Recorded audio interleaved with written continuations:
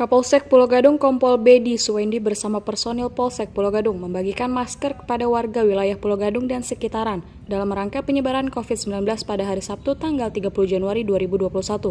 Masker ini merupakan suatu kewajiban yang harus melekat pada diri kita dan jaga pola hidup sehat dan rajin cuci tangan tetap patuhi protokol kesehatan dengan memakai masker setiap hari dan harus menjaga jarak tidak berkerumunan. Sebanyak 1.200 masker kain dibagikan kepada angkutan umum, pengendara motor, dan pejalan kaki. Bagi yang belum mengenakan masker sepanjang jalan pemuda, pembagian masker ini dimulai dari jam 10 sampai selesai. Pembagian masker kain ini mempertimbangkan kekhawatiran yang belum memahami berbagai protokol kesehatan dalam pencegahan COVID-19. Dari Jakarta, Tim Liputan melaporkan.